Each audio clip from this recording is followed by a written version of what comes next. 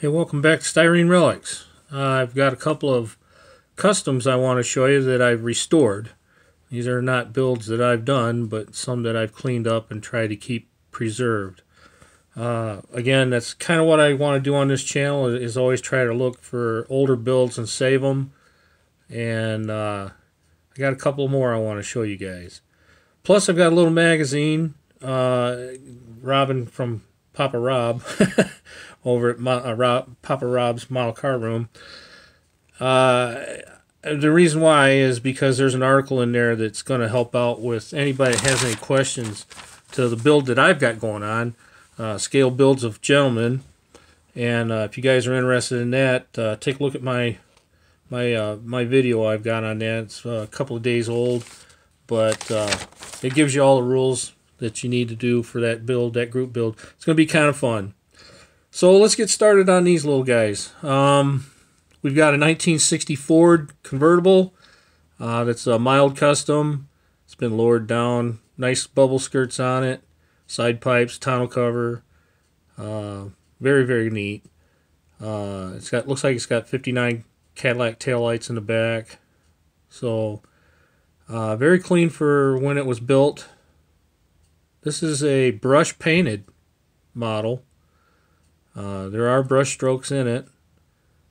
And very heavily, very heavily glued in. So to the point where you can see where the glue has shrunk the, the plastic in.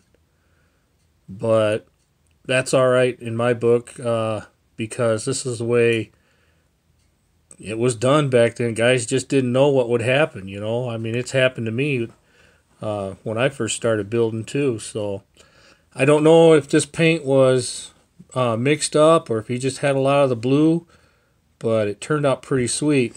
There were a few things that I did to it. Um, I believe one of them was uh, it needed a side pipe, and I had one that matched, so I went ahead and replaced it.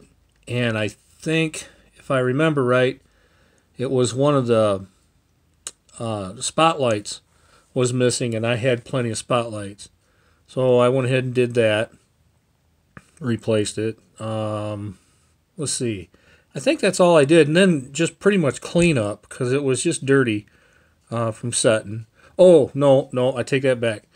These spears, I've added the spears because I just thought it needed a little just a little something because it was so blue.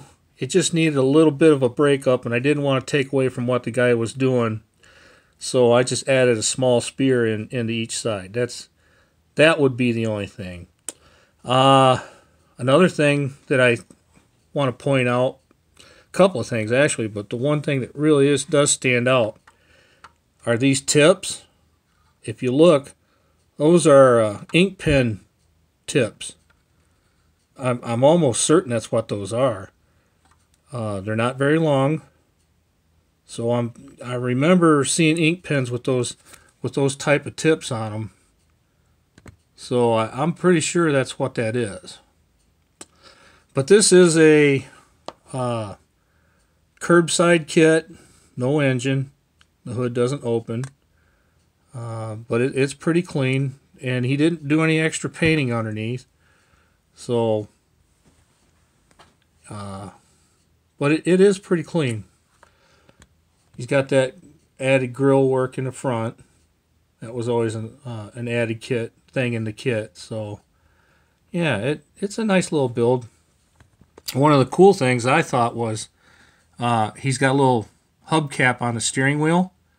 Uh, I've seen that done even in real life. Guys will take something like that, cut the back half out of it, and set it up on a steering wheel. I've seen that quite a bit. So that's kind of neat. So, yeah, this is an older build. I don't know when, but it's uh, pretty cool. So, hope you guys like that one. I got another one, kind of in the same flavor. This one I had to get. It just uh, reminds me of a, a nice boat out on the water. Uh, I don't know why. It, it must be the fins in the front end setting up just a little bit, but this just screaming to be out on the water to me. so I love this thing. This is really cool. And I don't have the hood on because I, I took it off.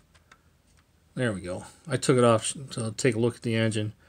But uh, this one is kind of neat because it is a. Yeah, I don't see it. This is the year uh, Thunderbird that you can't get because it's got the molded in. What is it, 60 or 61?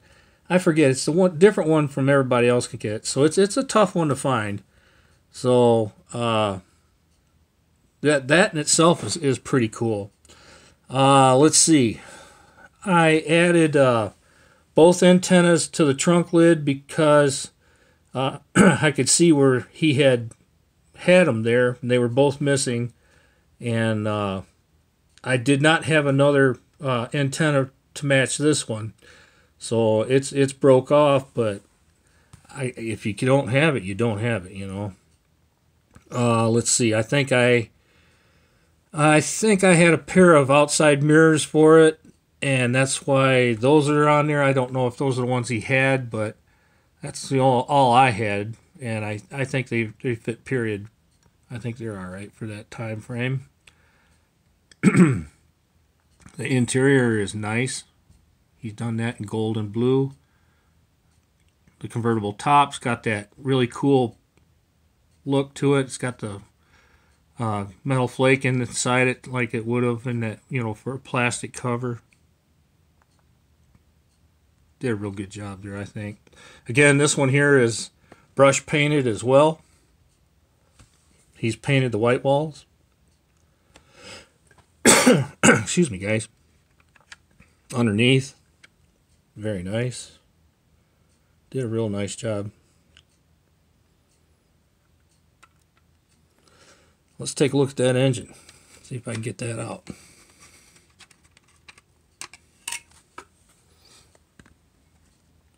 Okay. Now, what only thing I did on the engine compartment is in front of the radiator there, the core support, it was not painted.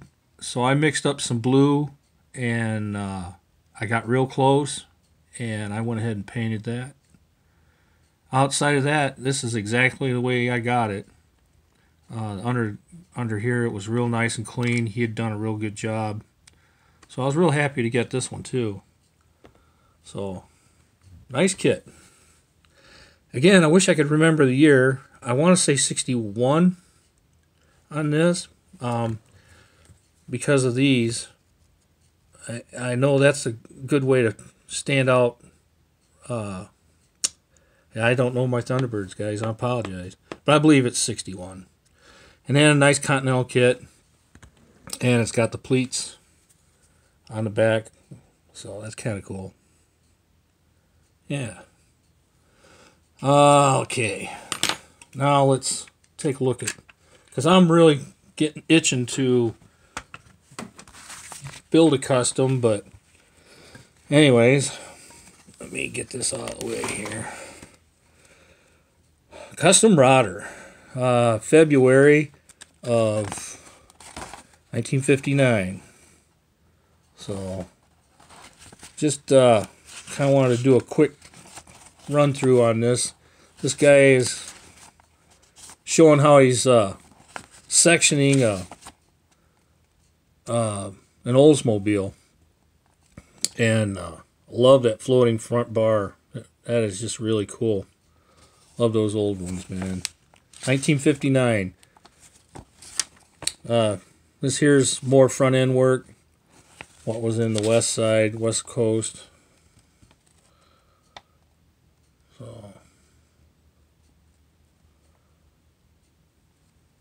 50, 58. Old old school stuff, man. Pretty neat.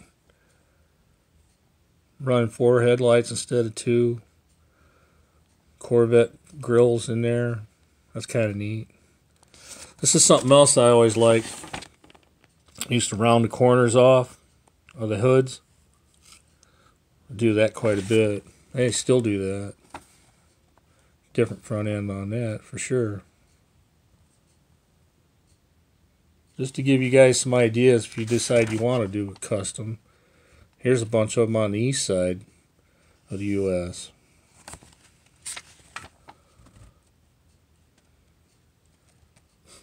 If I had to say, I, I like the ones on the west side a little better, but that's just me. Kind of neat. Grills make it, man. My book. Looks like a 58 right there.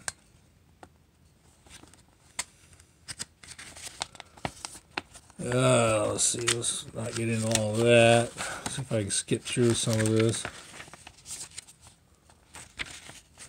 See here, he's got the covered covered up the wind, the steering wheel there.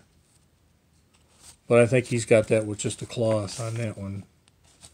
Basic how-tos. Looks like he's chain cutting on the fenders and that.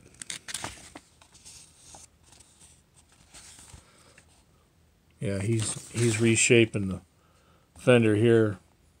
If you go over the tire, he's cut it back. It's kind of neat. Uh, let's see, where do I want to be at? Right here, this is it. Okay, now, if you guys are thinking about jumping in on my group build, uh, it's called uh, Scale Builds of Gentlemen. Uh, I, I sure do invite you all to uh, to do that. It, it's going to be old, old uh, dragsters and stuff. Um, some of this stuff is a little bit newer than what I'm after. Um, if you're if you really want to know what how it works, uh, Google Trog, the race of gentlemen, and uh, that's that's really what we're looking for. But this right here is pretty close. So, I mean, that's that's pretty neat. The only thing is here is that's uh, uh you know newer engines in here, but uh, pretty neat, pretty neat stuff. It's pretty cool.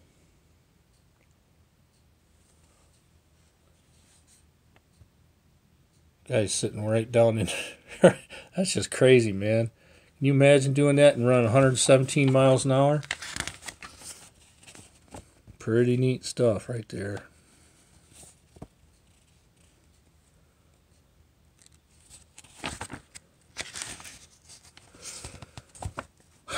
One of my favorite cars, the Aztec.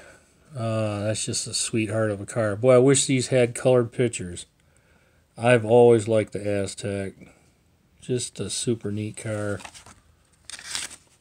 Uh, so that's really about all I wanted to show you. I just wanted to give you guys an ideas on on that uh, for that group build I got going on, and uh, that's really about it, guys. So I'm just going to wrap this thing up. I don't want to make it too long. So if you are thinking about uh, jumping in on that build, it's it's, it's old old uh, dragsters and stuff is what I'm after.